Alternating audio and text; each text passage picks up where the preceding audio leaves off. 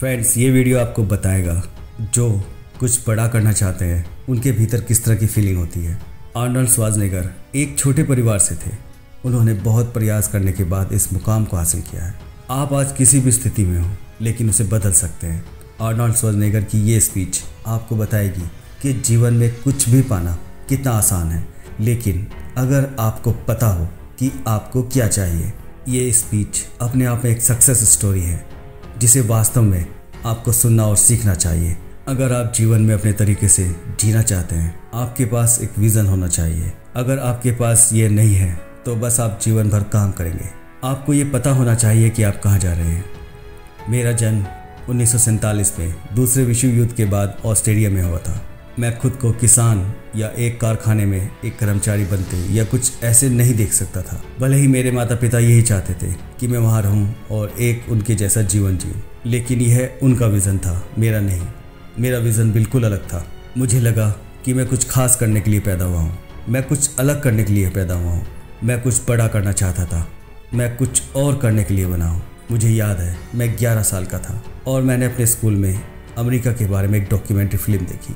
उस documentary film में एक विशाल स्काई स्क्रैपर्स दिखाया गया। गगनचुंबी इमारतें दिखाई गई। सिक्स लेन फ्रीवेज मुझे लगा, मुझे वहाँ होना चाहिए।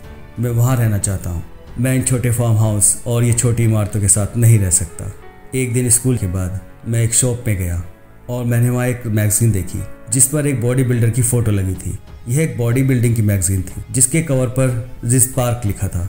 जिस पार्क उस समय का, तीन बार का मिस्टर यूनिवर्स का टाइटल पाने वाला शख्स था। मैंने उसे बड़े पर्दे पर हरकुलिस के रूप में देखा था और मैंने खुद से कहा, वाह, ये मेरे जीवन का खाका है।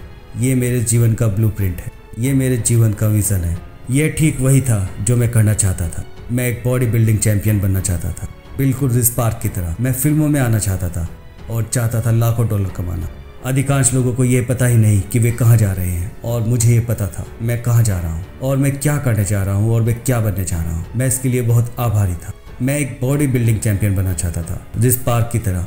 जब आपके पास एक लक्ष्य होता है, आपके पास एक दृष्टिकोण होता है, आपके पास एक विजन होता है तो सब कुछ आसान हो जाता है। इसलिए लोग मुझसे पूछते थे कि तुम इतनी मेहनत क्यों करते हो? तुम ऐसा क्यों कर रहे हो? मैं जिम में छह घंटे तक मेहनत करता था, लेकिन मेरे चेहरे पर हमेशा मुस्कान रहती और मैंने हर समय लोगों से यही कहा कि मैं गोल्ड के लिए मेहनत कर रहा हूँ। मेरे सामने मिस्टर यूनिवर्स का टाइटल है। मैं जो भी कर रहा था, वो मुझे मेरे गोल के पास ले जा रहा था। मेरा हर एक स्टेप मेरे विजन को रियलिटी में बदल रहा था। मैं आने वाले समय को विजुलाइज कर रहा था और ठीक हर दिन वही बनता जा रहा था। मैं किसी और कॉम्पिटिटर का इंतज़ार नहीं कर सकता था। मुझे सबसे कम उम्र का मिस्टर यूनिवर्स बनना था। मैं आपको कुछ विजुलाइजिंग के बारे में बताता हूँ, जो आपके लक्ष्य को बनाने में आपकी मदद करेगा। आप जीवन में क्या करते हैं, इससे कोई फ़र्क नहीं पड़ता। बस ज़रूरी है कि उद्देश्य होना। अगर आपके पास उद्देश्य नहीं है, आप विजुलाइज क्या करेंगे? कुछ भी नहीं। आप बिल्कुल वैसे ही होंगे, जैसे पानी में एक जहाज़ को बिना कंपास डिवाइस के समुद्र में छोड़ दें। और वह बस घूमता रहेगा, बस घूमता रहेगा।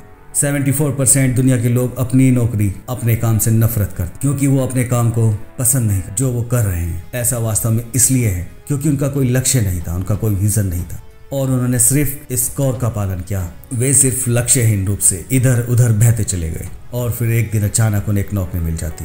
वो शुरुआत में खुश हो जाते हैं, लेकिन फिर जब आप काम करते हैं तो बस आप एक काम बनकर रह जाते हैं। ये आपकी पसंद नहीं है, फिर भी आप इसे करते हैं। आप खुश नहीं हैं, फिर भी आप इसे करते हैं। बस अपनी इज़्ज़त के लिए, कुछ पैसों के लिए। इसके पीछे कोई ज़रूरी भावना नहीं होती।